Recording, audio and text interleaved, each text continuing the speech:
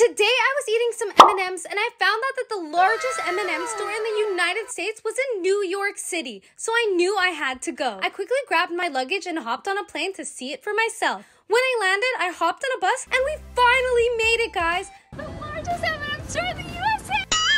Wait, is that me? My jaw dropped. I was on a billboard in Times Square.